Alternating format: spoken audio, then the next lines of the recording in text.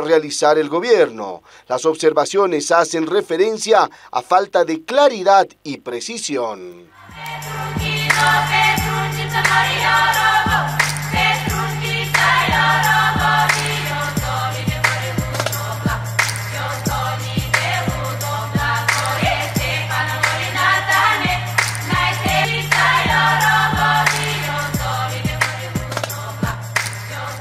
Habla de una supuesta tergiversación de la información y asegura que el pedido mayor de la COP es la aprobación de las leyes sociales.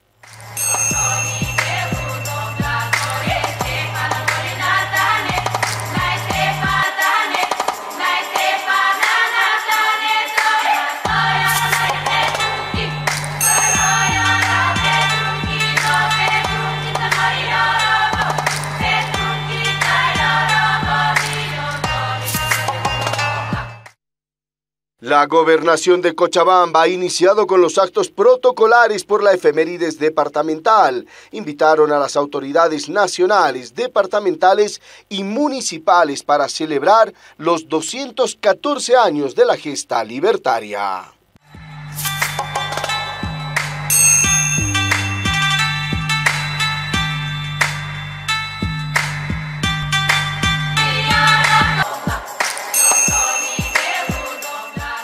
¿Cómo están amigos de todo el país? Bienvenidos a esta edición central de noticias en la la Televisión en este viernes 13 de septiembre. Muchos temas cerrando ya esta semana, la mayoría tienen que ver por supuesto con el efecto que ha generado en el país los incendios. Cicatriz por, por las hectáreas quemadas en nuestro territorio, efectos de la contaminación que ha generado suspensión de labores educativas presenciales, reducción del horario de trabajo en algunos departamentos y que el gabinete ampliado se traslade hasta para comenzar a trabajar. Y claro, muchas bajar el número de incendios forestales en nuestro país. Vamos a estar hablando de este tema. También vamos a hablar del trabajo de la Asamblea Legislativa Plurinacional. Continúan las sesiones tanto en la Cámara de Senadores como de Diputados. El tema de los créditos se están aprobando en base a la información que van recibiendo de los ministerios y en base, por supuesto, también a eh, los informes que se van presentando en cada una de las instancias. Hoy el señor Fernando Guarachi dio un paso atrás Recordarán que inicio de semana, eh, con declaraciones subidas de tono, habló de tomar físicamente la asamblea, sacar a patadas a los asambleístas. Hoy dice que era boliviana, no sabemos qué pasó.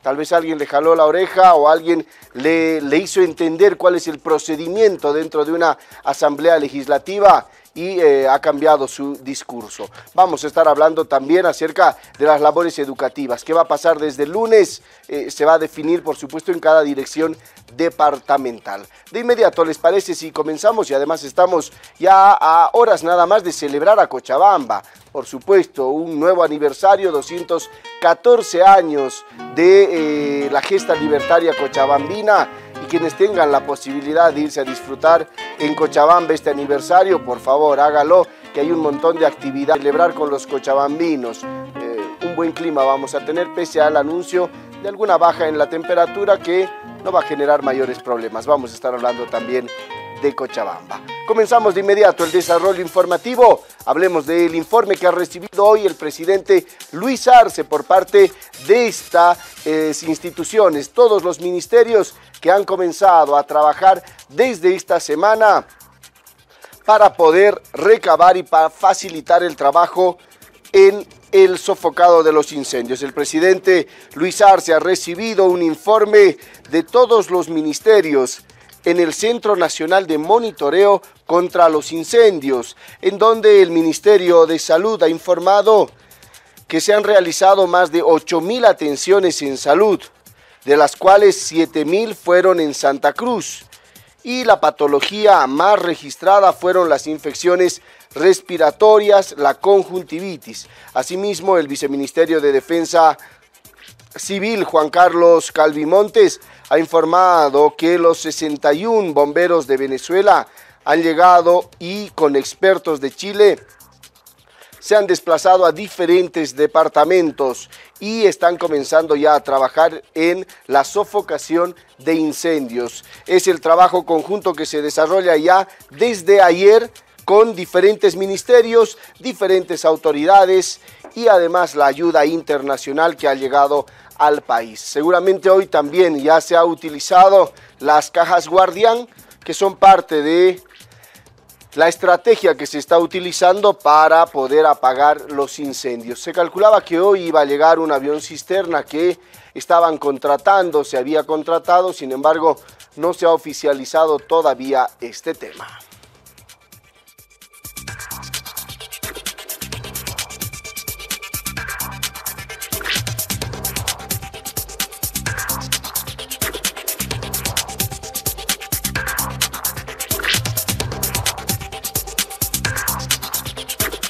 Tenemos que seguir con más porque después de la reunión que ha tenido el presidente del estado con los ocho alcaldes que han declarado en sus municipios alerta, se han reforzado las unidades de riesgo municipal con equipos y capacitación para las personas. De Cruz han participado varios ministros de Estado, viceministros, directores de entidades que estamos eh, realizando diversas tareas en la lucha contra el fuego. Luego de que se ha escuchado a cada uno de los alcaldes en la reunión que se ha tenido con el presidente, una de las primeras conclusiones a las que se ha arribado es lo que señalábamos ayer y que es importante volver a mencionarlo, los resultados que se obtienen mucho más efectivos cuando el trabajo es coordinado, más allá de las diferencias políticas que puedan existir, despojándonos de todo tipo de intereses particulares y poniéndonos todos la camiseta para trabajar contra los incendios en beneficio de toda la población. Destaco la voluntad de todos los alcaldes que están aquí presentes y con los que hemos venido trabajando, que no han podido llegar el trabajo que están realizando día a día desde sus territorios en primera línea para enfrentar los incendios. Algo muy importante que señalaba el presidente de Amdecruz y que es necesario aclararlo es que son más de 100 días de lucha contra los incendios, 100 días en los que hemos venido coordinando. Una de las primeras acciones que se da para apagar el fuego cuando se presenta en Otuquis. Y, después todas las tareas que se han venido desarrollando de manera conjunta junta con los alcaldes, tanto en el tema de bomberos, personal de salud, eh, temas que tienen que ver con agua y otras cosas que hemos abordado hoy día. Es importante señalar también como una de las conclusiones a las que se ha arribado en esta reunión es el programa con los municipios eh, para reforzar a bomberos. Nuestro viceministro y seguimos hablando de lo que está pasando en Santa Cruz, porque en las últimas horas se ha dado ya un informe preliminar de cuántos incendios hay han bajado, son 50 en este momento. Recordemos que hace dos días la cifra era de 74. Desde la gobernación se ha informado que algunos han terminado uniéndose, por eso ha bajado considerablemente el número de incendios. Sin embargo, las lluvias y los trabajos que se han iniciado con bomberos internacionales, estas cajas guardián y otro tipo de medidas que se han tomado han ayudado, por supuesto, a disminuir este número. A la fecha tenemos 50 incendios forestales en 18 municipios que han sido afectados por incendios, con una superficie de 3.347.000 hectáreas aproximadamente. Hasta el día de ayer se ha eh, hecho la liquidación de un incendio en Samaipata, sin embargo es importante recalcar que la cantidad de incendios en relación a la semana pasada ha sido reducida principalmente porque muchos de estos incendios se han agrupado y se han constituido en complejos de incendio más grandes, ¿no? que abarcan la misma cantidad de superficie. Nosotros como Gobierno Autónomo Departamental de Santa Cruz, el día de ayer hemos eh, recolectado más de 33 toneladas de ayuda humanitaria para desplazar a cinco municipios que son San Ignacio, San José, Ascensión de Guarayos, San Matías y Urubichá tenemos los equipos de la gobernación de las diferentes direcciones desplazados para poder hacer la entrega de estos equipos, así como insumos para la atención de incendios que tienen que ver con retardantes para que puedan utilizar eh, los bomberos en las acciones operativas. Y tenemos que continuar con más información porque el pronóstico del Servicio Nacional de Meteorología e Hidrología, CENAMI, ha dado a conocer que este fin de semana se van a registrar frentes fríos con lluvias en el norte del territorio nacional, particularmente en el departamento de Santa Cruz. Normales de que el día de hoy vamos a tener cielos poco nubosos en general para todo el país, eh, algunas lluvias dispersas vamos a tener en, las localidades de Cochabamba, lo propio en Tarija. En este sentido, indicar que el día sábado mañana está ingresando un frente frío en horas de la tarde y noche. Este podría generarnos lluvias y tormentas eléctricas en todo lo que es el oriente boliviano, en este caso más en Santa Cruz. Esperemos que sea en montos acumulados entre 10 y 20 milímetros o más. Sin embargo, hay que advertir de que también este frente es algo moderado en este sentido, indica de que podríamos tener también descensos de temperaturas en todas estas regiones que le he mencionado. Mañana, sábado, ingresa un frente frío en horas de la tarde y noche, prolongándose hasta el día domingo en horas de la mañana y este podría ingresar hasta Pando. Y claro, esta situación que se está viviendo en el país está comenzando a generar que se vayan a romper récords eh, en diferentes departamentos. En La Paz, por ejemplo, en 10 años no se había tenido una contaminación atmosférica como la que se está viviendo en estos momentos y se rompió este récord en La Paz. La alcaldía ha reportado que este jueves la medición de la calidad del aire en el municipio llegó a un pico que no se registraba en una década, una cifra que genera preocupación y llama a tomar medidas, porque más allá de como cifra haber llegado a superar la de hace 10 años, el problema es que son dos semanas y un poco más que tenemos este mismo panorama en la ciudad de La Paz. El humo que emerge de los incendios forestales ha llegado a la ciudad con intensidad desde hace más de dos semanas. La comuna alerta de rangos elevados en cuanto a medición de índices de calidad del aire que alcanzan parámetros de muy malo. La contaminación ha llevado a tomar medidas extremas en el municipio, como la suspensión de clases presenciales, mientras las autoridades sanitarias piden a la población, en especial de riesgo, que no se expongan a actividades al aire libre y procuren utilizar barbijo. Problemas como eh, afecciones respiratorias, conjuntivitis se reportan con muchísima frecuencia en la ciudad de La Paz. El Ministerio de Salud en las regiones afectadas por los incendios forestales y humaderas está generando estas campañas. La Caja Nacional de Salud ha reportado ya un incremento en las consultas por enfermedades del sistema respiratorio.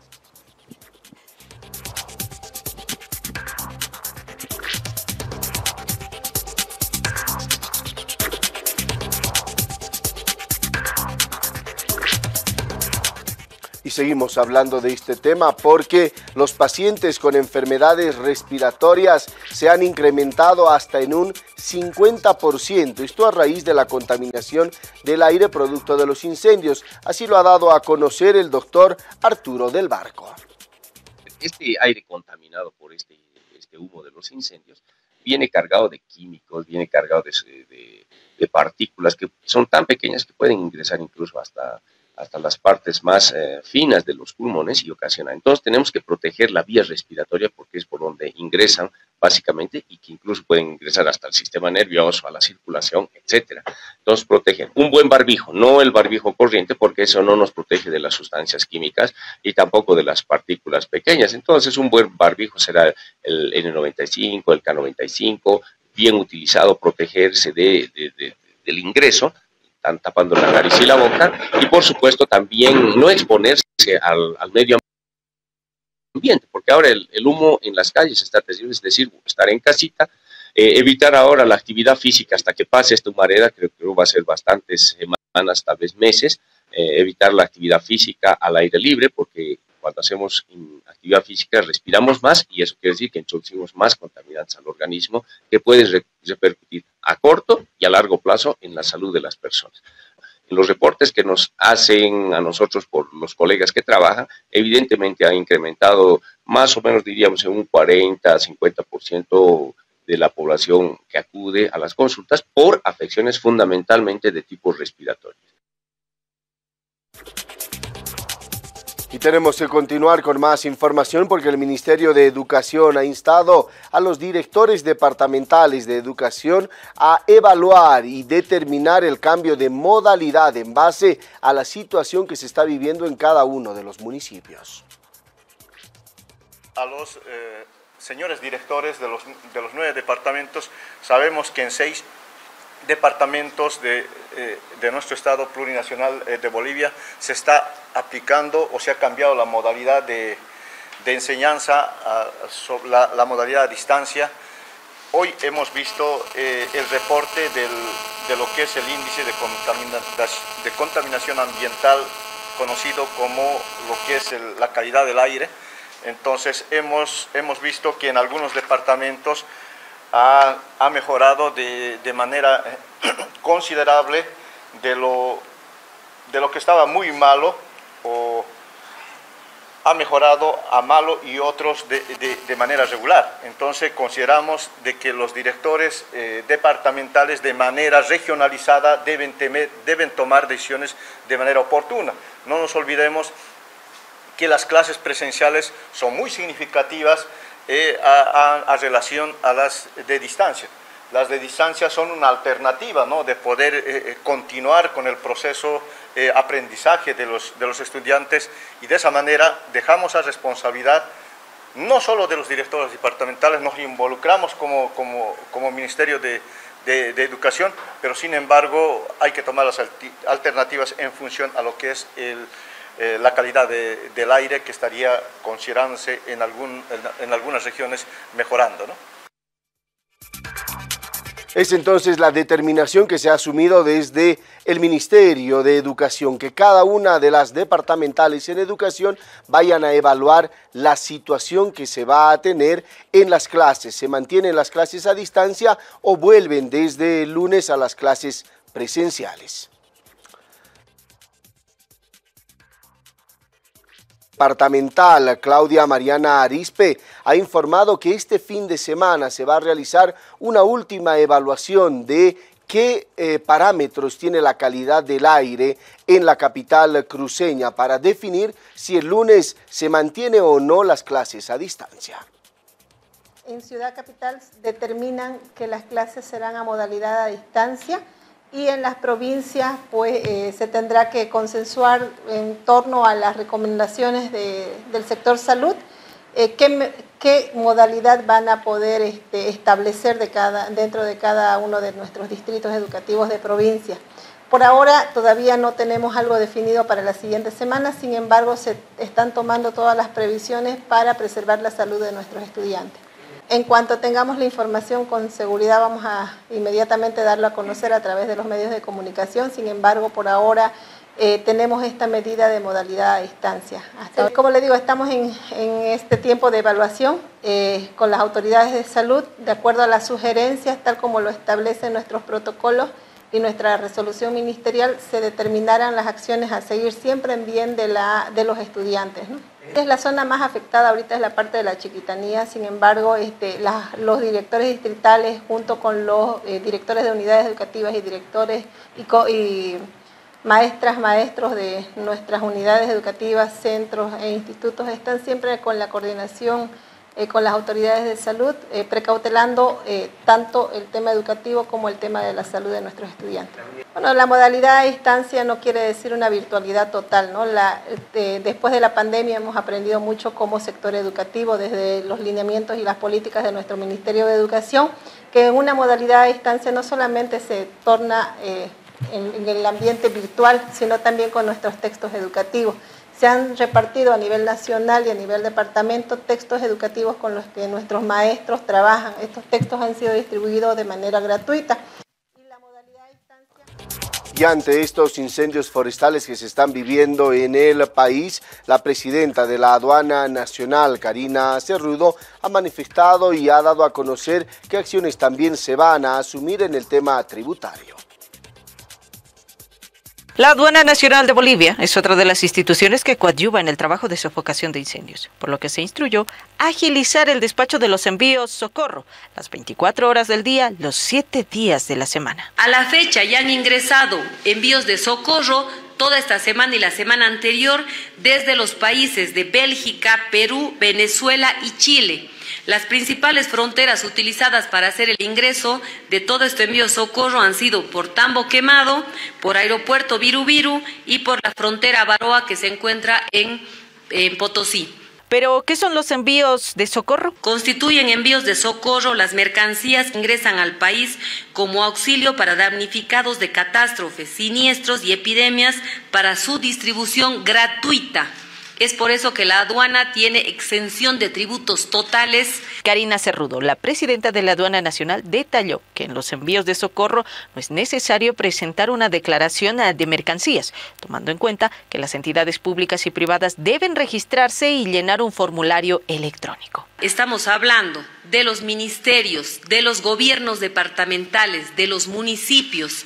Estamos hablando de todas las ONGs, grupos, fundaciones que se dediquen al apoyo y a la mitigación de estos incendios pueden simplemente ingresar a nuestra página, a nuestro sistema Suma, a través de nuestra página de Internet eh, y llenar un formulario. Recordemos que el presidente Luis Arce Catacora y su gabinete en pleno se encuentran en el departamento de Santa Cruz encabezando los trabajos de mitigación de incendios que aquejan al oriente boliviano y el comando de la policía en la ciudad de El Alto ha recabado víveres, agua y material para ayudar a las familias afectadas por los incendios y están enviando esta ayuda a las zonas afectadas. Estamos trabajando, vamos a hacer la entrega el día de hoy de todo este aporte solidario que hemos logrado recolectar, que hemos logrado acopiar, se traduce en 10.000 litros de agua, 1.500 bolsas de fideo, 50 latas de atún, 6.000 barbijos, quintales de papa, papel higiénico, galletas, guantes, cereales, medicamentos, lentes protectores, palas y picotas, colirios, entre otros. Este es un aporte y agradecemos otra vez, por supuesto, a los medios de comunicación, a las vecinas, a los vecinos de nuestra ciudad del Alto, pero también a los servidores públicos policiales que trabajamos en esta urbe alteña, que hemos realizado un aporte solidario para apoyar a nuestros hermanos del oriente boliviano. Viendo esto hasta el día domingo, vamos a armar otro lote para de la misma manera hacer el envío eh, a través de nuestras autoridades del Comando General y del Ministerio de Gobierno para que esto sea trasladado hasta la ciudad de Santa Cruz. Eh, ¿Qué puntos de...? En todas las eh, unidades de la policía, a nivel de toda la ciudad del Alto, en las estaciones policiales integrales, en las direcciones regionales especializadas y también aquí en este comando policial, pero también nos pueden llamar al número 110, al BOL 110 o al número 120 que nosotros nos vamos a constituir a sus hogares para hacer el, eh, recojo del apoyo, del aporte, ese granito eh, de ayuda que podemos dar.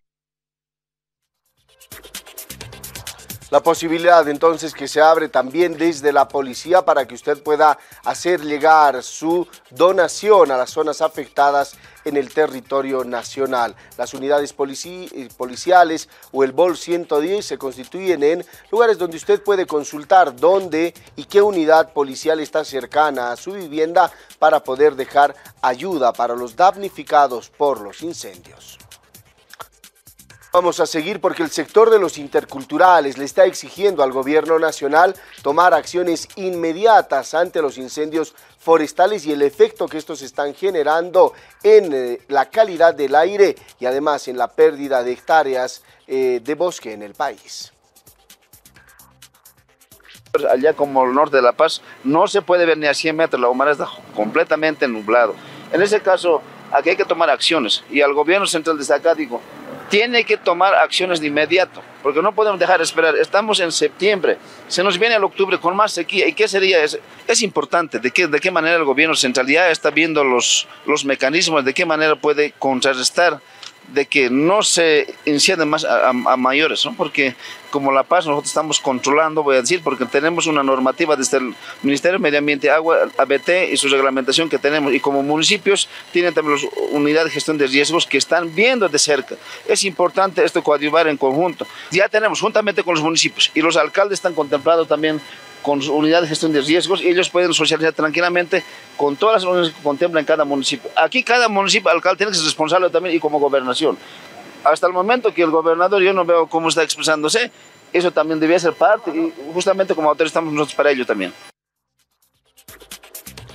Y la viceministra de Comunicación, Gabriela Alcón, ha pedido dejar de politizar el tema de los incendios en el país siguiente. Primero, dejar de politizar los temas. Se han ido tomando acciones con relación a ese tema. Tenemos un centro aquí, hay fenómenos climáticos que se han generado, hay que hacer una evaluación de qué es lo que está ocurriendo realmente en nuestro país. Ustedes saben que hemos tenido ya la llegada de la ayuda internacional. Eso ha sido ni bien estoy con la, estoy con la palabra, por favor, y le voy a responder. Entonces, he hecho una e, evaluación y más de 3.000 bomberos que han sido destinados. Para la declaración se ha necesitado y existen pasos como corresponde. Usted sabe, en cuanto a la declaratoria del municipio, de la gobernación, ni bien se ha generado eso, ya se ha tenido la declaratoria, inmediatamente se ha hecho la reunión, pero no solo es eso, sino las gestiones en temas de cooperación internacional ya se había sostenido hace más de un mes. Por eso, ni bien se tenía ya la respuesta, se ha contado con el apoyo inmediato y ya en camino, y ya en territorio nacional.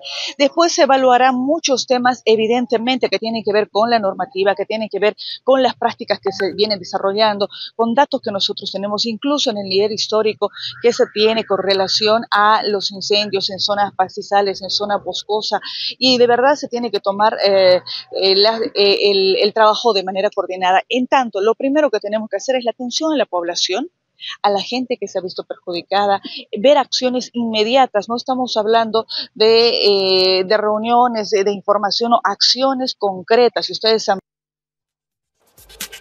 Y seguimos hablando de las acciones que el gobierno está proponiendo para frenar los incendios en el país. El proyecto de ley para incrementar, por ejemplo, las sanciones por incendios forestales ya se encuentra en la Cámara de Diputados y va a ser tratado con prioridad, han anunciado la diputada del oficialismo y parte de la directiva, Rosario García. Sí, se llegó, llegó a la Asamblea, seguramente está ahora en comisión, pero si queremos llevarlo al plenario tendríamos que ver eh, de disponer ¿no? el trámite, una disposición de trámite y se pueda tratar en la asamblea el día de hoy. Pero eso vemos también ¿no? si hay mayoría y si hay consenso, pues se va a llevar el procedimiento ¿no? de este tratamiento de este nuevo proyecto de ley, ¿no? Se tienen que tomar de prioridad porque hay una prácticamente hay una destrucción en nuestro medio ambiente, quemas, prácticamente estamos muy mal, ¿no? Con el, con el cambio también nos va a venir eh, una responsabilidad también nosotros como autoridades nacionales y sobre todo también al, al Ejecutivo, ¿no? Va a haber problemas la situación de la Cámara de Diputados. Pero recordemos que en Uyuni la Cámara de Senadores también ha sesionado. El Senado ha abrogado dos leyes la Ley 1171 de uso y manejo racional de quemas, a través de la cual se definen lineamientos para el manejo del fuego de manera racional, estableciendo sanciones leves o regulaciones para quienes no cumplieron con las sanciones. Esta norma establece la necesidad de la reforestación. También se ha abrogado la Ley 337 que alienta a la producción de alimentos y restitución de bosques, para lo que establece un procedimiento de denuncia de quemas ilegales, desmonte ilegal en el marco de la indignación ciudadana por los incendios forestales. La Cámara Agropecuaria del Oriente, por su parte, mediante un comunicado, hizo notar que el Senado mantiene la ley que genera la mayor cantidad de incendios y considera que abrogó leyes equivocadas. En realidad, la ley que rechazó la abrogación de la Ley 741, que autoriza las quemas hasta 20 hectáreas en propiedades pequeñas y tierras comunitarias en proceso de saneamiento, y la 740 de ampliación de plazo de verificación de la función económica social, la FES, en la Cámara de Diputados, que el pasado jueves intentaba canjear un crédito requerido por el oficialismo con la derogación de esta ley, pero al final no se logró. De todas formas, la norma aprobada por el Senado todavía debe ser revisada por la Cámara de Diputados, donde se podrá realizar la correlación de fuerzas y se identificarán estas observaciones que se hicieron notar desde Santa Cruz.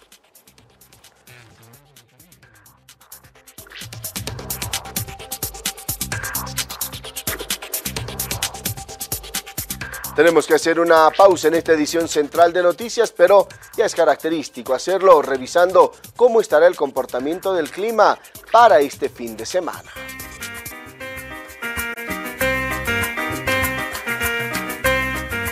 Mañana sábado en La Paz, 4 grados la mínima, 15 grados la máxima, temperatura baja a tomar en cuenta, 2% de humedad, cielo totalmente despejado. Y para el domingo, 3 grados la mínima, 16 grados la máxima.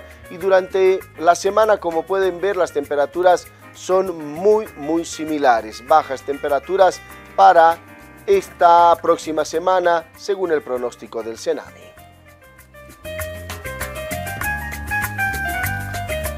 De La Paz nos vamos hasta Oruro. Mañana 2 grados la mínima, 17 grados la máxima, 17% de humedad, cielo totalmente despejado. Para el domingo 2 la mínima, 19 grados la máxima. Y durante la semana las temperaturas son muy parecidas en eh, la ciudad de Oruro. ¿Qué pasa finalmente en Potosí? 1 grado la mínima, 16 grados la máxima mañana. 2% de humedad, cielo despejado. Para el domingo, 1 grado la mínima, 17 grados la máxima el domingo. Y durante la semana, las, las temperaturas se mantienen en ese promedio de temperaturas mínimas y máximas. 20 horas 39 minutos, hacemos una pausa y ya volvemos con más.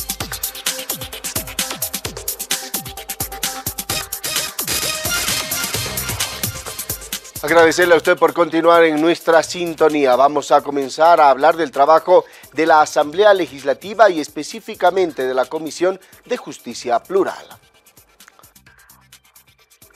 Se ha conocido que hasta la fecha, cuando han pasado 10 días de este proceso, se han presentado tres postulantes para acceder al cargo de fiscal general del Estado. Recordemos que el plazo vence el próximo miércoles 18 de septiembre sábado y domingo vamos a estar atendiendo por el turno de la mañana desde las ocho y media hasta las 12 del mediodía. Y de lunes a viernes vamos a estar atendiendo por la mañana desde las 8 y media de la mañana hasta las 12 del mediodía por la tarde desde las 2 de la tarde y media hasta las 6 y media de la tarde. Así concluyendo hasta el día miércoles hasta las 6 y media de la tarde se cierran las puertas del antiguo legislativo o la puerta anexa por la cual están ingresando por el momento por los problemas coyunturales eh, se cierra a las seis y media y se atiende hasta el último que esté en fila. Y seguimos porque la Cámara de Diputados ha rechazado en las últimas horas un crédito de 40 millones de dólares propuesto para el saneamiento de tierras en Bolivia. Este financiamiento tenía como objetivo apoyar la regularización y distribución de tierras en el país. La sesión fue interrumpida tras un debate entre los legisladores y declarar un cuarto intermedio hasta la próxima semana. El crédito gestionado por una instancia internacional fue cuestionado por algunos legisladores que señalaron la necesidad de revisar los términos de acuerdo y el destino de los fondos. Para el oficialismo consideran oportuno reevaluar las condiciones del crédito mientras se debe eh, realizar estas observaciones. La oposición ha señalado que la medida afecta la continuidad de los procesos de reforma agraria. El proyecto de saneamiento de tierras continuará en discusión cuando la sesión se reanude la próxima semana. Se prevé que se busque una alternativa para financiar las iniciativas relacionadas con la regularización de tierras en Bolivia. Lamentablemente eh, ha habido eh, parlamentarios que lo han entendido mal por el hecho de que ha habido una reunión de bancadas y han consensuado y han acordado la agenda de lo que ha sido planteado y en, ella, en una de las agendas estaba también la abrogación de algunos artículos, de algunas normas que ellos exigían. Se ha aceptado, pero lamentamos de que haya parlamentarios de las mismas líneas eh, opositoras y también nuestras que no lo han entendido de esa forma y ha sido rechazado este proyecto de ley en grande. Estamos ahora, se ha pedido la comprobación del voto eh, no se ha llegado a eso, ha quedado suspendida la sesión de ayer para el próximo martes. Esperamos que el próximo martes ya vengamos con la cabeza fría. Y vamos a cambiar el rumbo de la información para hablar del polémico dirigente que en las últimas horas y bueno, desde hace muchos años ha venido generando muchas críticas por sus acuerdos con diferentes gobiernos, le dijo hermana compañera a la señora Janine Áñez, recordemos hace algún tiempo, y este tipo de acciones generan muchísimo rechazo y críticas por parte de la población y también de los asambleístas. Bueno, después de amenazar a la Asamblea Legislativa, recordará ustedes a inicios de semana con una toma física, Juan Carlos Guarachi ahora habla de una supuesta tergiversación de la información y asegura que el pedido que tiene la Central Obrera Boliviana es la aprobación de las leyes sociales. No vamos a parar, compañeros. Hoy más que nunca. Mañana la marcha va a, terminar con la toma física de la Asamblea Legislativa. Y si no quieren legislar, carajo, que asuma su suplente. Después de que se amenazara incluso con una posible toma física de la Asamblea Legislativa Plurinacional, el secretario ejecutivo de la Central Obrera Boliviana, Juan Carlos Guarachi, aseguró que no se obligará a los parlamentarios a aprobar todos los créditos y que solamente piden vía libre para las leyes sociales. A ver, eso hay que aclarar porque están tergiversando la información. El pedido de créditos que hemos hecho es de aquellos que ya tienen justificación en algunas regiones, en algunos departamentos, que está justificado. Lo que no está justificado seguramente corresponde a quienes han enviado a la Asamblea Legislativa, ya sea por el Poder Ejecutivo o los diferentes ministerios. ¿no? Entonces eso es muy diferente. Guarachi lideró el pasado martes una marcha del arcismo en demanda de la aprobación de millonarios créditos desde la ceja de El Alto hasta la Plaza Murillo de la Paz, donde instaló una vigilia que aún permanece este viernes más allá de las amenazas, más allá incluso de las denuncias a través de algunos dirigentes autoprobados como es la Central Obrera Boliviana, nosotros dijimos de que las leyes que estén en beneficio del país, en beneficio de un sector, vaya adelante. Ayer aprobamos dos leyes, pero en el tema de los créditos prácticamente nosotros qué dijimos, mientras el Ejecutivo, mientras sus ministros no vengan a rendir cuentas a la Asamblea Legislativa e informen los 4 mil millones de dólares, nosotros no vamos a aprobar ningún crédito más, porque a la final también son los responsables desde la parte ejecutiva en, incluso a nosotros, en mutilarnos las interpelaciones. El secretario ejecutivo de la Central Obrera Boliviana, Juan Carlos Guarachi, permanece en el cargo por siete años y pasó por los gobiernos de Evo Morales, el de facto de Yanine Áñez y ahora de Luis Arce. Guarachi asumió el cargo para el periodo 2018-2020 en reemplazo de Guido Pinma. Las repercusiones entonces ante este cambio que asume el secretario ejecutivo de la Central Obrera Boliviana, al que se lo dejó entrar con la marcha hasta Plaza Murillo, le pusieron letrinas, agua potable para los marchistas que llegaron y iniciaron toda esta actividad en la puerta de la Asamblea Legislativa Plurinacional. Hoy dice que no está obligando a nadie y que solamente pide la aprobación de las leyes sociales. Nosotros vamos a continuar con más y hablemos del referendo, porque una vez más el Tribunal Supremo Electoral ha rechazado las preguntas enviadas por el presidente Luis Arce. Es el segundo rechazo del Tribunal Supremo Electoral y sumado al del Tribunal Constitucional, son tres rechazos ya a esta intención de llevar adelante un referendo en el país. Se ha dado a conocer que las observaciones hacen referencia a que las preguntas no generan eh, claridad y precisiones, por eso que se las devolvió al Ejecutivo. Por segunda vez, la Sala Plena del Tribunal Supremo Electoral observó las tres preguntas que presentó el gobierno para llevar adelante un referéndum que insiste en realizar. Las observaciones hacen a la claridad y precisión de las consultas. Que lo que el tribunal quiere es que, digamos, si está de acuerdo en suspenderse opción A de forma paulatina, opción B de forma general, opción C a medias, no sé, supongo, pero eso lo está viendo el Departamento Jurídico del Ministerio de Justicia, ¿no? Eh, vamos a cumplir lo que nos dice el tribunal, vamos a volver a mandar corregidas, bueno, en algún momento entraremos de acuerdo pues, en cómo queremos la pregunta. El Tribunal Supremo Electoral en ese sentido observó las dos primeras preguntas sobre la subvención debido a que contienen términos abstractos e indeterminados y también porque no existe una certeza sobre la gradualidad que se está consultando. Respecto a la pregunta 3 sobre la reelección presidencial, se solicitó precisar el alcance legal de esa interrogante. Yo creo que se refieren a falta de precisión, claridad y visión política, porque simplemente Luis Arce Catacora ya no tiene tiempo ya no tiene tiempo para llevar adelante un referéndum, ya no tiene tiempo para corregir el desastre de 20 años como ministro y como presidente. Por lo tanto, ahora lo que le queda es tratar de llegar a la elección el 2025, procurar una transición que ya empezó, pero que tiene que terminar con una, con una elección clara, limpia, transparente, con un padrón saneado y la entrega del poder democráticamente. Eso es lo que le queda.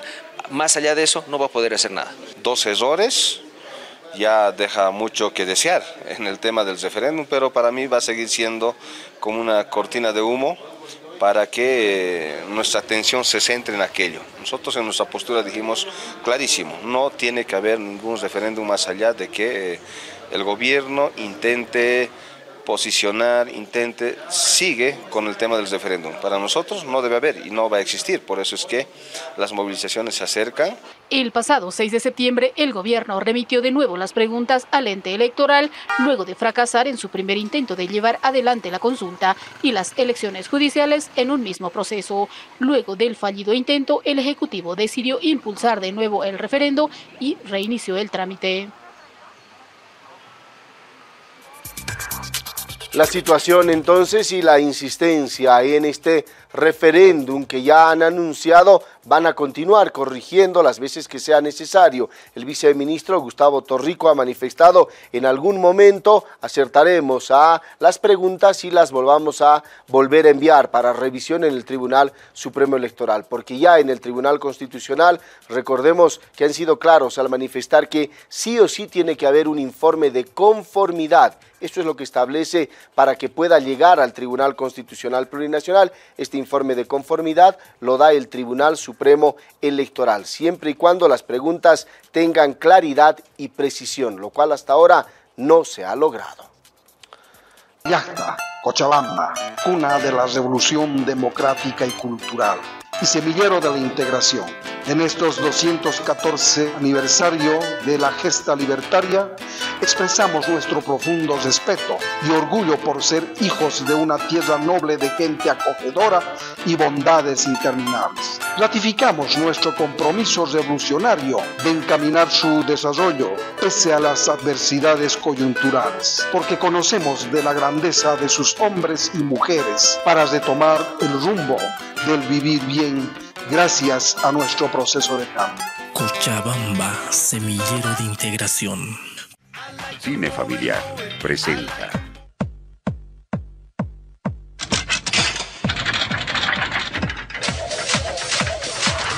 Quiero mover el bote. Él mueve, mueve el bote. Ella mueve, mueve el bote. ¿Nos gusta? ¡Mueve! Abroches el cinturón. No mires, chiquita, puede ponerse feo. ¡Despegue! ¡Despegue! Les tengo buenas y malas noticias. La buena es que aterrizaremos de inmediato. La mala es que será un aterrizaje forzoso. Quiero Buen aterrizaje. ¿Quién dice que los pingüinos no vuelan? ¡Mueve! Domingo a las 14.30 horas. Me paré, caminé, me subí, me fui contra la corriente y también Buenas me perdí. tardes, soy América Maceda y yo soy Maya Berazain. Este es un programa ideado por el feminismo comunitario. Esto es La mitad de cada pueblo. Comenzamos. Uno de nuestros objetivos ha sido siempre la reivindicación de nuestros derechos, dar a conocer a una sola voz las necesidades como mujeres. Estos temas porque van más allá, digamos, de una postura o de una bandera política.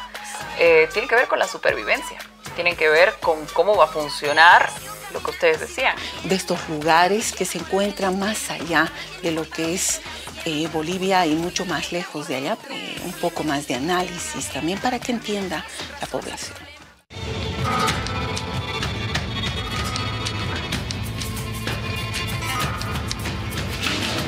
Coordenada Sur. Un programa de información y análisis internacional. con Juan Ramón Quintana y Andrés Alari. Domingo a las 8 de la noche, por Avia y a la televisión.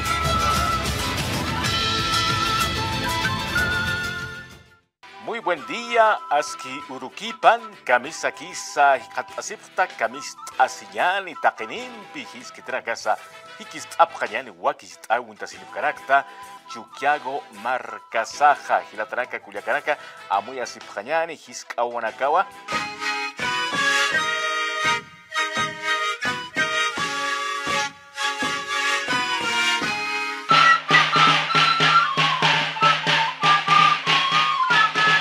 Acachalina, acalurta hasta marcaban Haniti Culiaca. Kunatsa Sinti, Yakata, Kunasa, pueblos indígenas, marcan Katsutaki. Cine de Noche presenta Estado de Sitio, una película de Costa Gábaras de 1972. Philip Santore es secuestrado junto a dos personalidades, un cónsul y un agregado diplomático que ha trabajado en varios países de Iberoamérica, en los que poco después se han producido rebeliones que han llevado al poder a militares extremistas. ¿Por qué se obstinan tanto esos jóvenes? Están defendiendo la autonomía universitaria.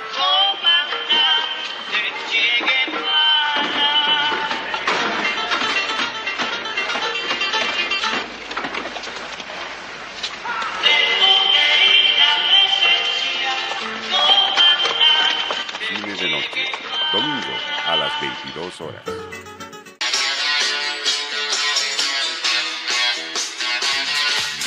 ¿Cómo están? Un abrazo cordial, muy buenas noches, señor, muy buenas noches, señora. Estamos arrancando el ingreso de los equipos. Y obviamente el hincha estaba decepcionado con lo que pasó en, la, en, Uruguay en el partido de ida. Pero dígame, Luchetti, Marco, Damaris, nadie los va a, a recibir con tanta. Mirá, ahí está su ídolo Lampe, mirá. Carlos Emilio. Ahí está. Ah, ahí está. La saludó a la niña. Por Carlos eso está Emilio. bien. Ah, Pero la mayoría- ya le va a dar palo. ¿La mayoría? Sí, no, no, no, no, no, Villegas Bueno. tampoco. Arrancamos. Historia de terror que siempre te toca leer. Pregúntale a tu hermana, a tu madre. Bienvenidas y bienvenidos nuevamente a este su programa Nacer Mujer. Programa para hablar de temas de mujeres, hablar de temas de feminismo, hablar de las luchas de las mujeres. No estamos contando de los miles de casos que no se llegan a denunciar. Estos son casos judicializados donde realmente la víctima ha ido ante la autoridad competente y ha sentado una denuncia. eh, concepciones muy machistas, muy... En cambio, la perspectiva de género lo que hace es mirar la condición de vulnerabilidad específicamente de la mujer. Las 22.30 horas. Esta es nuestra cobertura. La Paz, Santa Cruz, Cochabamba, Tarija, Sucre, Trinidad, Cobija, Uyuni, Guayaramerín, Villazón, San Ignacio de Velasco, Yayagua, Guanuni, Chayapata, Yacuiba, Yapacaní. Síguenos en nuestras señales. Avia y a la televisión. Un continente de culturas.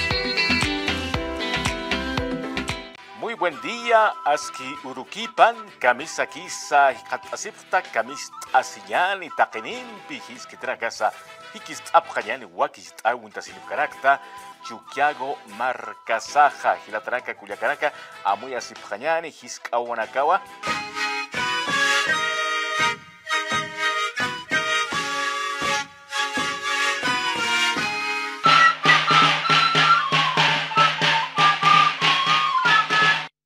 Hiscahuanacagua. Acachalina, Acalurta, hasta marcaban Haniti Cuyaca.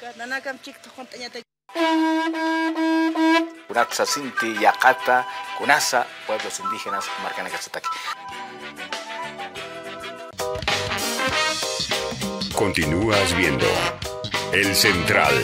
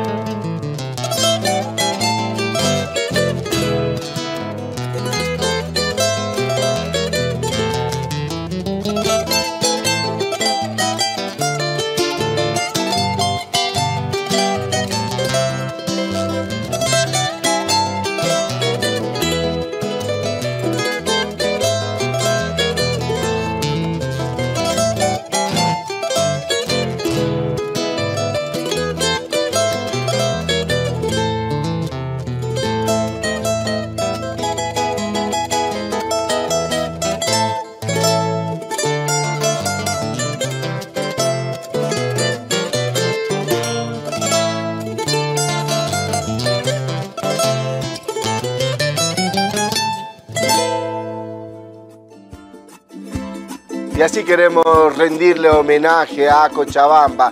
Estamos a menos de tres horas de celebrar estos 214 años de gesta libertaria. Y sí, oh Cochabamba querida, porque hemos tratado en este clip mostrarle la magia que tiene esta ciudad. Desde los lugares turísticos, ese clima maravilloso, eh, la vegetación que se tiene, no por nada, es denominada también la ciudad jardín. Y por supuesto, esa gastronomía que estoy seguro a usted lo ha dejado con muchísimas ganas de disfrutar de esos platos tradicionales que tiene Cochabamba. Mañana desde muy temprano ya se va a iniciar con las actividades oficiales, desde la ceremonia interreligiosa, las ofrendas florales, la isa de la bandera. Se ha invitado a las autoridades nacionales, departamentales y municipales, además de autoridades de otros departamentos también para que puedan compartir este aniversario con los cochabambinos. Y hoy se ha desarrollado la sesión de honor del Consejo Municipal de Cochabamba,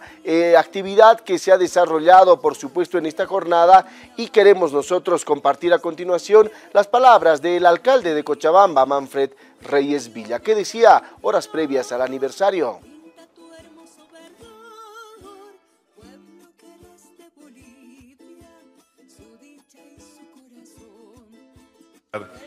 Un nuevo aniversario del grito libertario de nuestra querida Cochabamba. En esta fecha tan especial recordamos la valentía de aquellos hombres y mujeres que en 1810 se unieron en un mismo propósito, luchar por la libertad y la justicia. Aquel grito de independencia no fue solo un llamado a la rebelión, sino un acto de profunda unidad, donde los cochabambinos, sin distinción, se unieron para enfrentar un futuro incierto con esperanza y determinación. Esa unidad que nos dejó aquel día histórico debe ser hoy nuestra inspiración, más allá de nuestras diferencias, ya sean políticas, sociales o económicas, somos un solo pueblo, un país. Nuestra fuerza ha estado siempre en la capacidad de estar juntos, de trabajar codo a codo por el bienestar de nuestra comunidad. Los problemas que afectan a nuestro país, como la crisis, la desigualdad, la pobreza, los incendios y la amenaza a la libertad y la democracia, no pueden ser resueltos de manera individual. Solo a través de la colaboración y la solidaridad podremos construir la patria que todos anhelamos. La historia nos ha demostrado que cuando nos unimos en la diversidad no hay reto que no pueda superarse. Así lo demostramos el 14 de septiembre de 1810, cuando campesinos, indígenas, criollos y todos los sectores del valle se juntaron bajo un mismo ideal. Hoy necesitamos esa misma voluntad, ese mismo compromiso con nuestra tierra y con nuestro futuro. Así como cuando juntos construimos en Cochabamba el proyecto múltiple Misiculi. La unidad no significa que pensemos todos igual, sino que reconozcamos que nuestras diferencias son una riqueza y que a pesar de ellas podemos y debemos caminar juntos. El verdadero poder de Bolivia radica en su gente, en su capacidad de unirse en los momentos más difíciles y de convertir esos desafíos en oportunidades.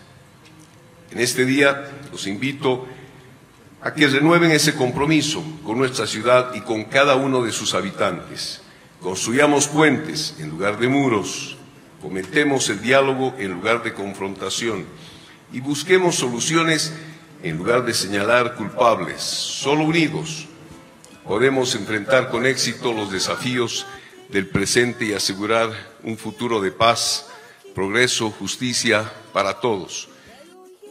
Las palabras del alcalde cochabambino Manfred Reyes Villa en el marco, lo decíamos, de esta sesión de honor que se ha desarrollado en esta jornada, como parte de los actos protocolares que ya se vienen desarrollando en Cochabamba. Mañana desde muy temprano comienza todo con las ofrendas florales en la Plaza 14 de septiembre. Vamos a estar nosotros atentos, por supuesto, a todo lo que genera información en Cochabamba mañana en nuestras ediciones informativas de fin de semana.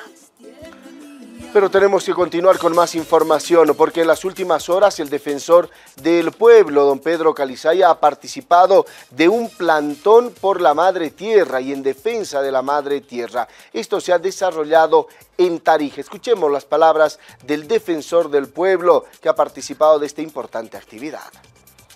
Muy bien, este acto muy sencillo, pero muy significativo a la vez demuestra el compromiso de las y los defensores estudiantiles, de los gobiernos estudiantiles también, con el medio ambiente, con los derechos de la madre tierra. Y es un llamado a todas las autoridades a que podamos accionar, adoptar acciones que estén en defensa del medio ambiente, pero también es un llamado a la conciencia de toda la sociedad no podemos naturalizar, no podemos permitir que las quemas, que los incendios, que la depredación de la biodiversidad se vuelva algo natural. Estamos comprometiendo nuestra vida en este momento, pero también a las generaciones futuras.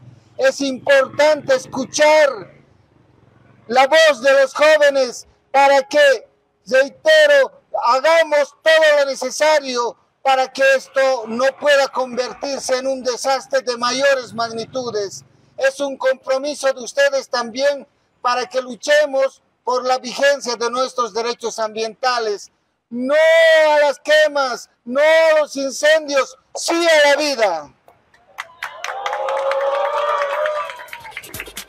El acto que ha desarrollado la Defensoría del Pueblo en, Tarija más bien entre los funcionarios, pero lo que se ha querido es mostrar una preocupación sobre la situación que en este momento está viviendo el país. Recordemos que ya el defensor del pueblo hace algunos días ha presentado denuncias contra tres ministros, gobernadores y alcaldes por no asumir medidas oportunas para frenar los incendios en el país. Vamos a estar haciéndole un seguimiento también a estas medidas que está asumiendo la Defensoría del Pueblo. Nosotros seguimos con más porque la empresa EMAP ha habilitado puntos móviles en diferentes puntos del departamento o de la ciudad de Cochabamba más bien para poder atender en la demanda especialmente de arroz, que es uno de los productos más requeridos en esta época la empresa EMAPA habilitará puntos móviles en diversas provincias del departamento con el objetivo de reducir las largas filas que se forman en sus sucursales. Hemos analizado y hemos planificado y no solamente tener los superimapas de nuestro departamento, sino salir a las provincias, a las regiones.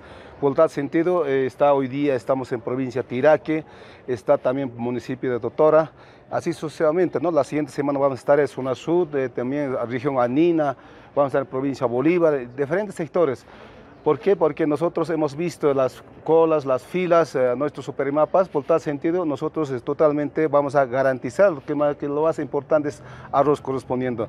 Llevando mayormente ¿no? Eh, arroz, aceite, azúcar, eh, huevo, carne de pollo y casi todo en general estamos llevando a las ferias correspondientes. Piden a las intendencias municipales controlar la especulación de productos como arroz, harina y azúcar en los centros de abasto con el fin de garantizar el precio justo y evitar la especulación en los mercados no nos ayuda la alcaldía que corresponde a la área metropolitana, las intendencias municipales a hacer un, una investigación o si no hacer seguimiento, lo que están especulando el producto lo más importante. También visibilidad del consumidor tampoco no funciona, por tal nosotros seguimos batallando como EMAPA y vamos a garantizarlo, ¿no? Seguimos con más información porque continúa la escasez de diésel en algunos departamentos y surtidores. Esto también está golpeando al sector minero, toda vez que la Federación Nacional de Cooperativas Mineras está denunciando que el cupo de combustible reducido que se les está entregando hasta en un 50% pone en riesgo su producción. Ustedes saben muy bien que las cooperativas trabajamos pues en, su, en, una gran mayoría con el tema del diésel. Esto la verdad afecta de una manera significativa. Ustedes saben muy bien que ya no hay. Incluso nos han reducido el cupo de lo que antes nos daban, nos han reducido a un 50%. Con esto ha rebajado la producción y por ende también pues ha rebajado nuestros aportes a lo que son en regalías mineras y por ende también perjudica lo que es el entorno del Estado Nacional y las protestas continúan pese a haber bajado un poco las demandas a raíz de los incendios que ha sido el tema que ha cooptado la atención de todo el país. Eh, las juntas vecinales, por ejemplo, han mm, salido a las calles paseñas para protestar por el incremento de los precios. Exigen la renuncia del viceministro de Defensa de los Derechos del Usuario y Consumidor, Jorge Silva. ¡Abajo el ministro de Economía! Es como en esta oportunidad, ejecutivos de las juntas vecinales del municipio paseño protestaron en las calles exigiendo soluciones ante la elevación de precios de la canasta familiar. Esta es una muestra realmente que las autoridades nos tienen que escuchar nuestras demandas, nuestros pedidos, pero lamentablemente hasta el momento no hemos sido escuchados. Hemos dado plazos nosotros que renuncien dos viceministros por incapacidad. El viceministro Jorge Silva, también el Gustavo Torico, por faltar respeto al pueblo boliviano. El presidente de la FEJUVE de Achocalla, que aglutina 300 urbanizaciones, dijeron presente en la marcha que se dirigía hasta Puerta del Ministerio de Justicia. Vecinos denuncian que los precios se incrementaron de un 30 hasta un 100%. El alza del costo de la canasta familiar, muchos vecinos ya no les alcanza lo que, su, lo que tienen y por eso estamos viendo para que nos dé una solución el gobierno. Tiene que parar lo que es la inflación, tiene que parar esto, entonces necesitamos eso. Casi ha subido un 30% a lo que a lo que antes salían uno con 100 bolivianos y ahora no le alcanza ni para no le alcanza lo que es para, para el día.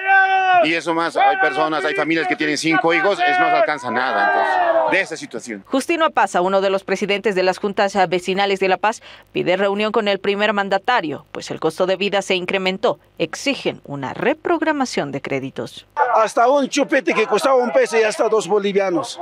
Eso no, ya no podemos tolerar. La gente de a pie, los hermanos que van al mercado con 100 pesos, 200 bolivianos, ya no les alcanza. Además, estamos pidiendo el diferimiento bancario. Hay mucha gente que debe al banco, con esta coyuntura ya no pueden pagar. Por eso nosotros estamos pidiendo un año de gracia hasta que se recupere los hermanos vecinos. Y seguimos porque el representante del transporte pesado en el país ha confirmado que se van a sumar al bloqueo de caminos este 16 de septiembre a la convocatoria que ha realizado la Federación de Campesinos Tupac Katari. Hemos aguantado todo tipo de amedrentamientos, las reuniones educadamente con el señor ministro de Economía y también no, hemos, no han cumplido todas las peticiones del sector del transporte pesado. ¿Por qué? Porque hoy no existe divisas, no existe combustible, no hay trabajo para nosotros, los fletes están en los suelos, no podemos cumplir nuestras deudas bancarias y la ASFI se ha vuelto en cómplice del saqueo a todos los transportistas. ¿Cómo puedes permitir en tu país cuando te depositan en dólares y no puedes sacar tu dinero que te cuesta el sacrificio?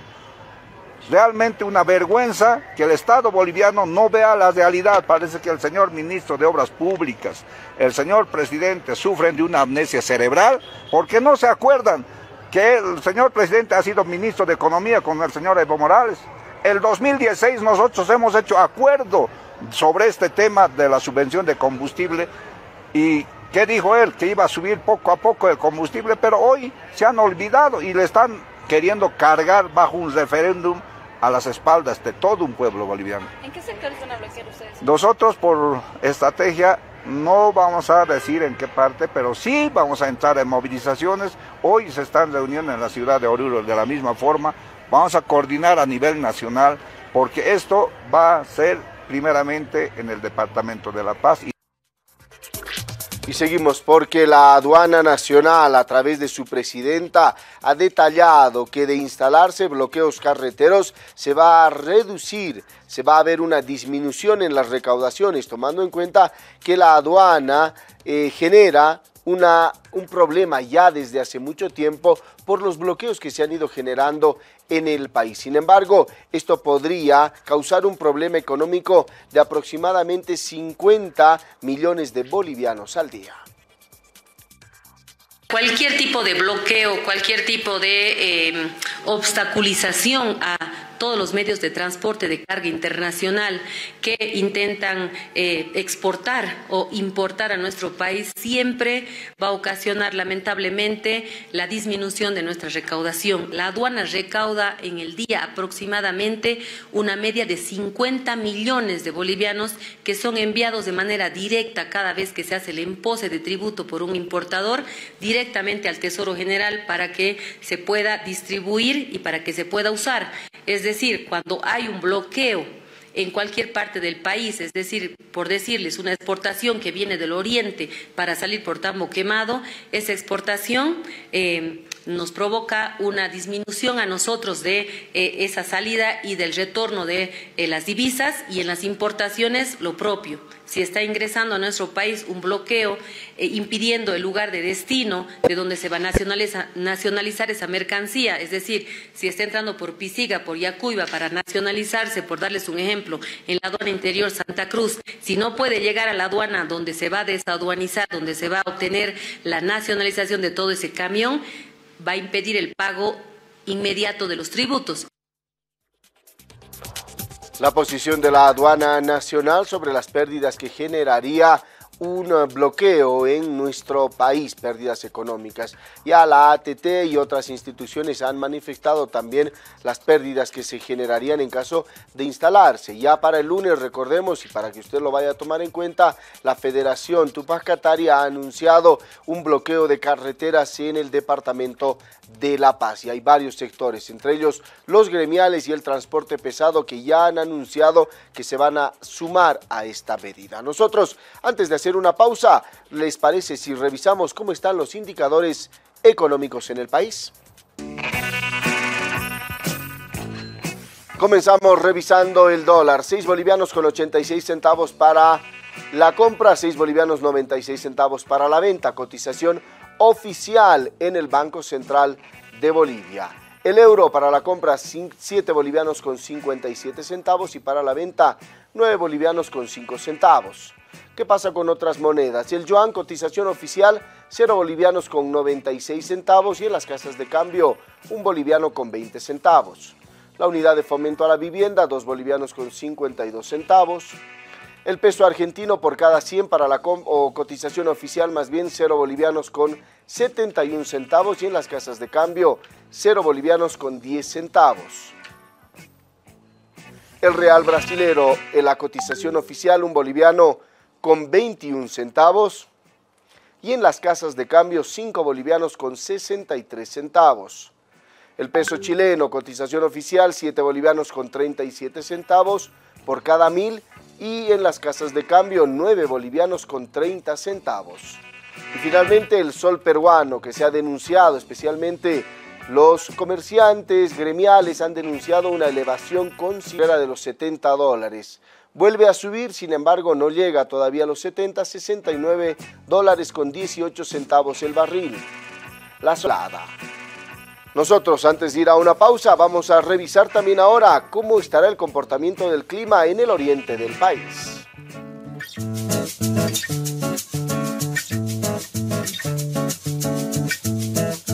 Comenzamos en Santa Cruz, que es el departamento con la mayor cantidad de problemas o el mayor cantidad de eh, focos de calor. En este momento son 50 los que se han reportado. Para mañana la temperatura se ha anunciado un descenso de las temperaturas y posibles lluvias. 19 grados la mínima, 24 la máxima, 4% de humedad, cielo totalmente despejado y el domingo 20 grados la mínima, 28 grados la máxima.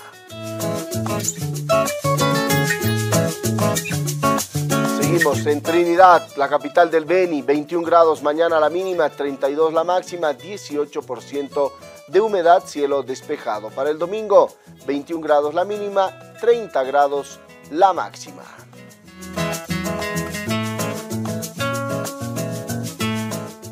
Y finalmente en Cobija, mañana 24 la mínima, 37 la máxima, 14% de humedad. Y el domingo 23 será la mínima y 32 grados la máxima. Con estos datos hacemos una nueva pausa y ya volvemos con el central.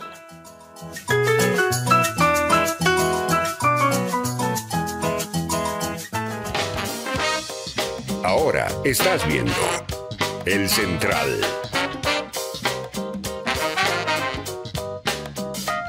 Bienvenidos a una nueva era de transporte de pasajeros y encomiendas. Presentamos Transcopacabana MEM, tu compañía de confianza para viajar cómodo y seguro hacia tus destinos favoritos. Reserva tu asiento fácil y rápido desde la comodidad de tu hogar. Nos dedicamos a brindarte una experiencia de viaje inigualable. Con nuestra flota de buses de última generación, garantizamos tu confort y seguridad en cada trayecto. Transcopacabana MEM, tu mejor opción en transporte de pasajeros y encomiendas. Cine de Noche presenta Estado de Sitio, una película de Costa Algábaras de 1972. Philip Santore es secuestrado junto a dos personalidades, un cónsul y un agregado diplomático. que-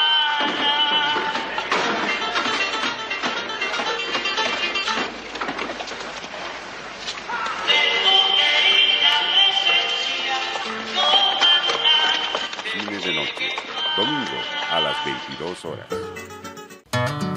Hola amigos, amigas, soy Ronald Montesinos, conductor de La Voz del Migrante, y quiero invitarles a ser parte de nuestro programa donde juntos conoceremos las historias de vida, los logros y las actividades de nuestros compatriotas bolivianos y bolivianas que hacen patria en las diferentes latitudes del mundo. Además, imperdible nuestro sector Migrantes en Bolivia para conocer sus vivencias y la cultura de nuestros hermanos migrantes que viven en nuestro país. Acompáñanos de lunes a viernes desde las 15 horas por Avia Yala Televisión y Radio. Los esperamos.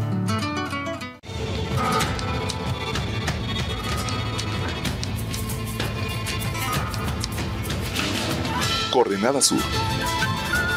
Un programa de información y análisis internacional. Con Juan Ramón Quintana y Andrés Salari.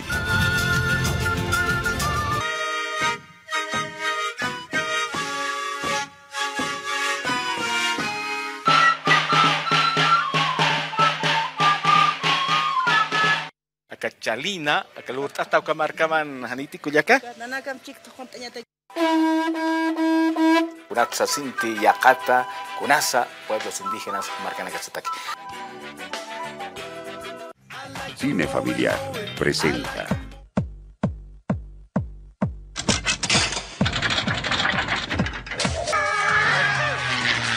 Les tengo buenas y malas noticias. La buena es que aterrizaremos de inmediato. La mala es que será un aterrizaje forzoso. Buen aterrizaje. ¿Quién dice que los pingüinos no vuelan? ¡Mueve!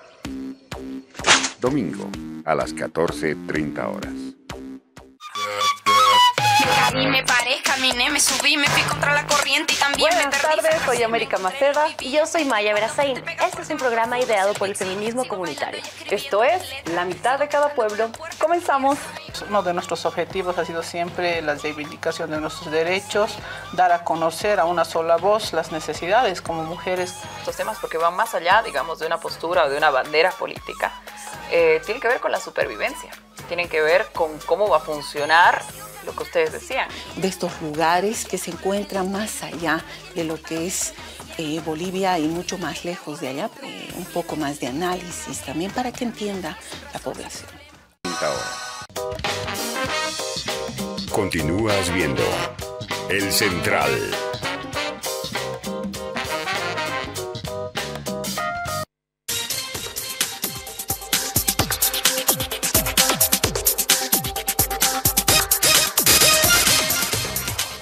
Agradecerle a usted por continuar en nuestra sintonía. Arrancamos un nuevo bloque noticioso y lo vamos a hacer hablando acerca de los resultados del censo de población y vivienda y los cuestionamientos al mismo. Nos vamos a ir hasta Cochabamba porque el gobernador Humberto Sánchez y el alcalde del cercado Manfred Reyes Villa no asistieron a la reunión convocada por el Instituto Nacional de Estadística. Sin embargo, enviaron técnicos a la reunión prevista para este 16 de septiembre. En horas de la mañana, el Instituto Nacional de Estadística convocó a una reunión de autoridades departamentales y municipales en la cual el gobernador de Cochabamba, Humberto Sánchez, y el alcalde de Cercado, Manfred Reyes Villa, no asistieron a la reunión abierta. En su oportunidad, el director nacional del INE, Humberto Arandia, lamentó que no estén presentes varias autoridades. La presentación fue abierta y no fue obligatorio. Yo creo que los actores técnicos que estaban interesados estuvieron presentes. Estuvo presente la alcaldía aquí directamente y por ende tenía algunas inquietudes técnicas que querían ser absorbidas. Buenas tardes. Tal cual lo señalamos en la conferencia de prensa, Cochabamba tiene aproximadamente 2 millones de habitantes en el censo de población 2024. Sin embargo, indicaron que enviarán a sus respectivos equipos técnicos para participar en la reunión programada para el 16 de septiembre. Viene a Cochabamba por el clima, por la posición geográfica, por la gastronomía, por todo. Entonces, eh, todavía hay que trabajar en eso. Va a haber una reunión en la ciudad de La Paz técnica, donde se les va a demostrar, porque esta mañana han tenido una reunión técnica, se les va a demostrar lo que les estoy eh, comentando y ojalá que cambien las cosas en función de poder lograr la realidad. Eh, no es aquí eh, pelear por más habitantes, sino lo Y tenemos que continuar con más hablando de los resultados del censo, porque en La Paz el alcalde Iván Arias ha manifestado su molestia con el Instituto Nacional de Estadística porque consideran que han decepcionado la confianza que se les había depositado, toda vez que después de los primeros análisis técnicos del censo se ha determinado, dice el alcalde Arias, que ha sido un censo político y no un censo técnico.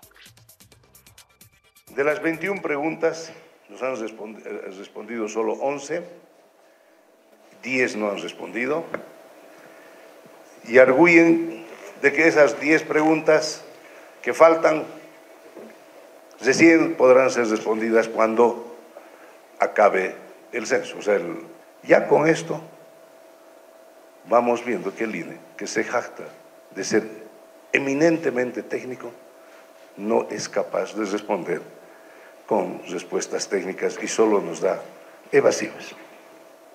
Vamos a algunas respuestas que realmente dejan mucho que desear. El INE, y ahí abajo ustedes pueden ver, hemos copiado, el INE acepta que hubo presión para censarse en otros municipios a pesar de ser residentes habituales del municipio de La Paz. Le preguntamos al INE, ¿por qué no puso medidas de control en las preguntas para hacer un equilibrio? Está reconociendo que ha habido presión por parte de los municipios para gente que vive habitualmente en La Paz.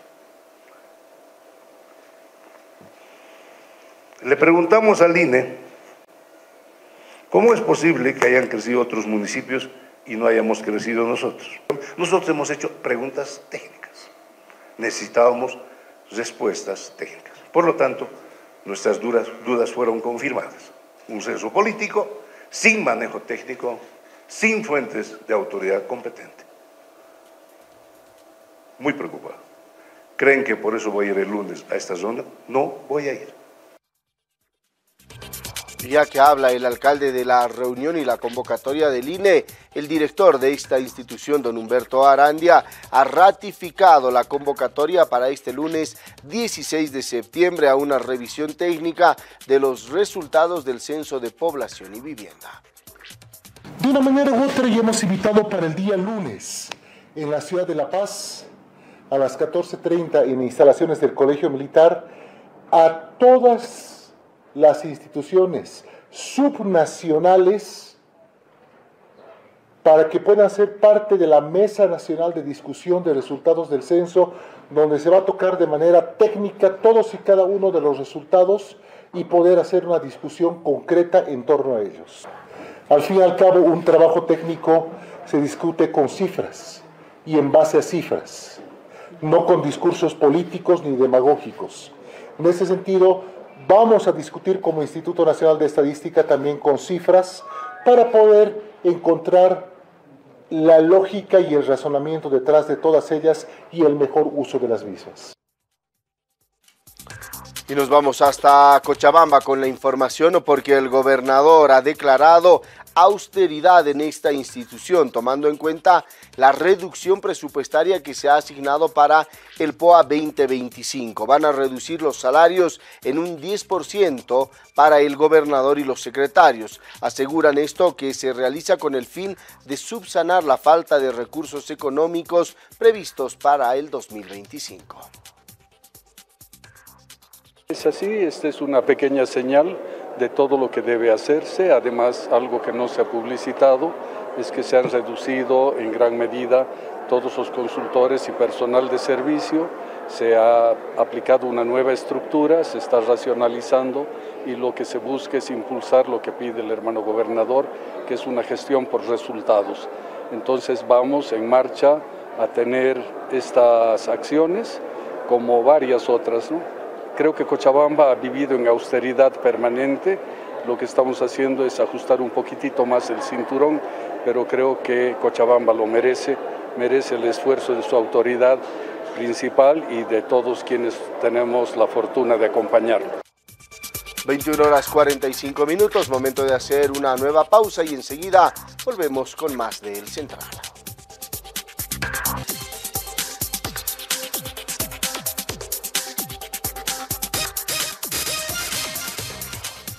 Tenemos que continuar con más información, noticias lamentables porque ha sido una semana muy complicada para la situación de las mujeres, porque cuatro crímenes contra mujeres cierran esta semana en el país. Keina, María Isabel, Norma y Jimena son las nuevas víctimas de feminicidio.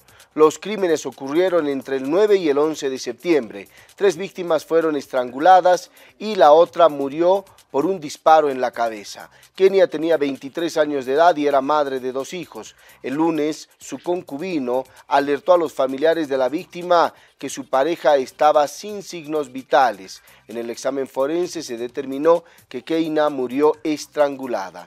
Dos días después del crimen y en una sola jornada, el 11 de septiembre, mataron a María Isabel, Norma y también Jimena. Finalmente se ha reportado el feminicidio de Jimena, le decíamos, la mujer que fue asfixiada por su concubino y luego este se quitó la vida. El hecho ocurrió en el municipio de Atocha, en Potosí.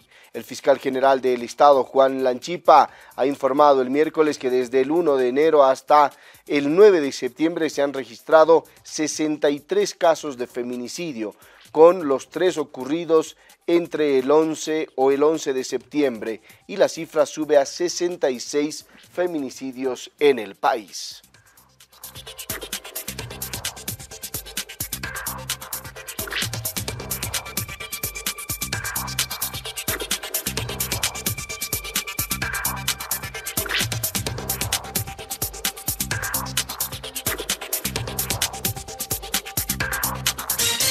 Seguimos porque el ministro de Gobierno, Eduardo del Castillo, ha informado que la policía y la fiscalía continúan con la investigación por la droga encontrada en una aeronave de Boliviana de Aviación. 22 teléfonos fueron secuestrados. Además, se ha dado a conocer que se van a revisar las cámaras de seguridad que tiene el aeropuerto Jorge Bilsterman en las próximas horas, donde partió el avión hacia Santa Cruz, indicó el ministro el Ministerio Público ya se encuentra en el departamento de Cochabamba realizando las actuaciones investigativas correspondientes. Esperemos que podamos llegar a la verdad material los hechos en el menor tiempo posible.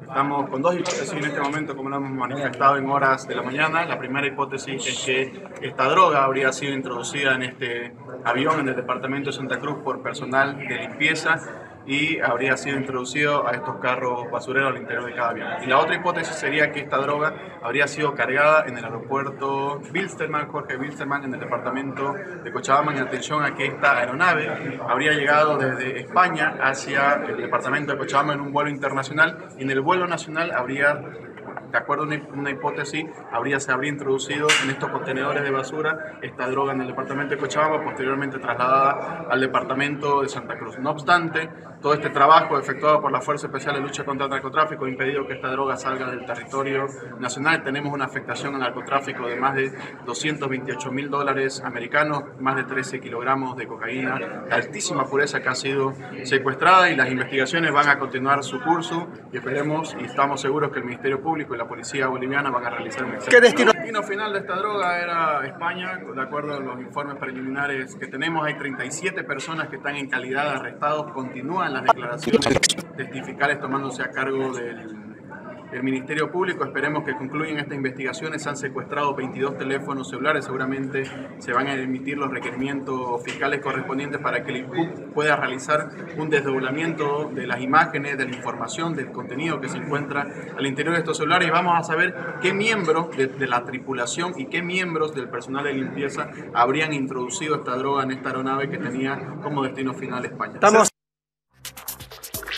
y seguimos con más información porque también el ministro de Gobierno ha informado que se van a reunir autoridades de la Fuerza Especial de Lucha contra el Crimen y la Federación de Ganaderos de Santa Cruz para dialogar acerca de denuncias de avasallamiento en tierras cruceñas. Además, además ha informado que se están presentando un anteproyecto de ley para incrementar la sanción en el país en contra de los piromaníacos manifestar que por primera vez en la historia en nuestro país, a la cabeza de nuestro presidente, que ha conformado el gabinete agropecuario y producto del resultado de ese gabinete, se ha visto la necesidad de la creación de una comisión en contra de avasalladores y traficantes de tierra, principalmente instalada en el departamento de Santa Cruz. Si nosotros comparamos las estadísticas desde la gestión 2017 hasta la actualidad, los avasallamientos se han reducido en más de un 50% precisamente en el departamento de Santa Cruz.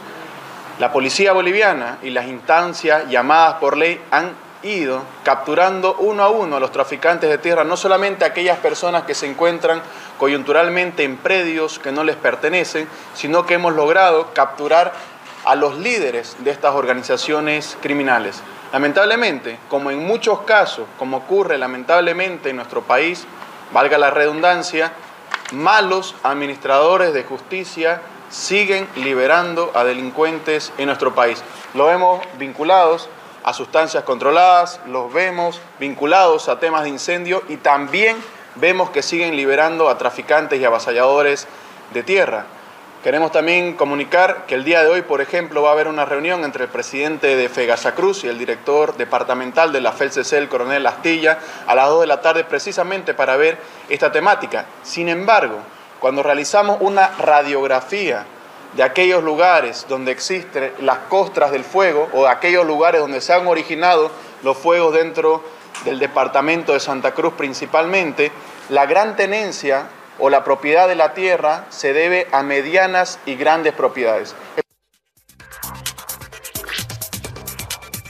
Y se ha cumplido nuestro tiempo. Como siempre quiero agradecerle a usted su sintonía y por supuesto que vamos a cerrar esta edición central de noticias festejando a Cochabamba por su 214 aniversario de gesta libertaria. Mañana desde las 7 de la mañana van a comenzar los actos protocolares. Felicidades Cochabamba a nombre de todo el personal de Avia Yala. Permiso, buenas noches.